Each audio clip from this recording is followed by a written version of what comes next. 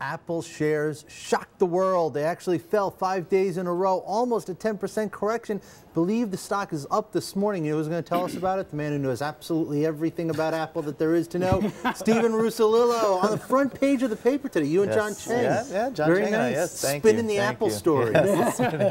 Uh, so Trying to figure out what's going on. You know, yeah, and actually, that's a good place to start because the most interesting thing about this sell-off is that it has not come on any specific piece of news. Exactly. There isn't one true fundamental reason why the stock is down so much. Uh, you can see here the chart. You know, it's been a fantastic run up for, for you quite a should know, it's while. up And there's a 2% little, today. it's up That's- two percent today, so right. it's, it's rebounding today. Right, right. But you know, from it, it The, hit. a- the, the Russolillo front The page Russolillo effect.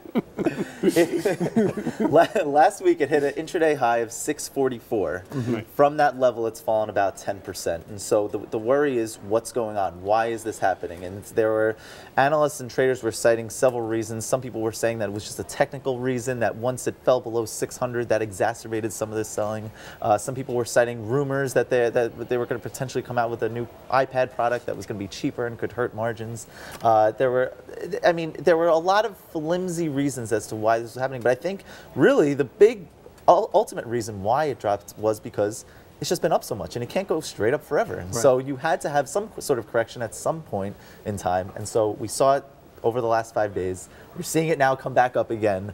And the story is not any different really today as it was a week ago. So I think that's the, the big thing. here. Absolutely. I mean, you know, Apple is the ultimate momentum stock. And for the past few years, that momentum has been nothing but bullish. And it still is bullish.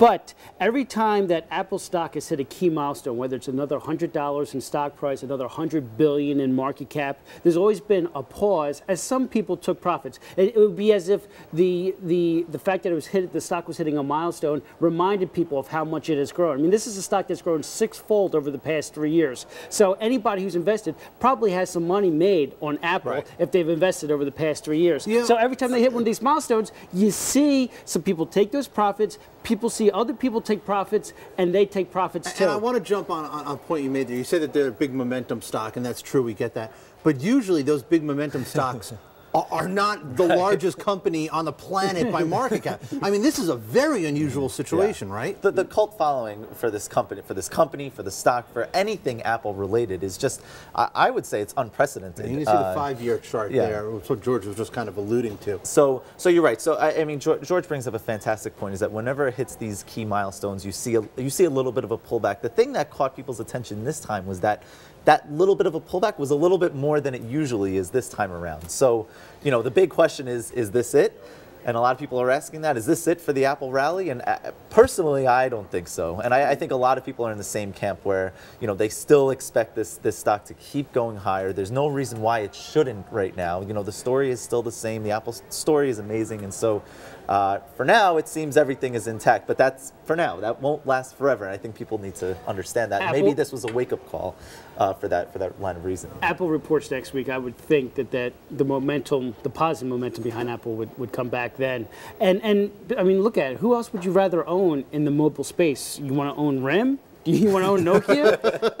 I don't, I don't, I don't want to own Rim's phone, which I have right here. No offense, guys, but I mean, you know, to me, it seems like you're right. The fundamentals for Apple look great. They're going to report earnings. You know it's going to be a blowout quarter. If it isn't, my God, the world might end. But I mean, you know it's going to be a great. But again, this is a, a thought that I had, and there's nothing fundamental behind it. But I just think when a stock starts getting to be that much money, more than $600, $640, I just think psychologically people are less inclined to buy it because it is expensive. And I don't care what the PEs are, I don't care what the fundamentals Yeah, are. the law of when you're numbers, right? putting down, and I'm talking about you know most normal people, that much money for a stock, I just think it becomes harder and harder to justify buying it. And I think you're seeing that. for the average shareholder. However, I mean, and there For was the something institutionals, for the institutional, right, and, it's and it different is uh, Apple is has a heavy institutional Yes. holdings behind it. So Yeah. Right, and uh, yeah, the PE ratio for Apple is still the, the, the stock is still considered pretty inexpensive Right. at this point. especially when you factor all the cash that Apple has. Yeah. All right, we could turn this show into a, the Apple, the Apple's hub. right. I like them not. apples. But uh, yeah, let's not. We'll move on. Steve Great. Russo, thank Thanks you very so much, much. guys.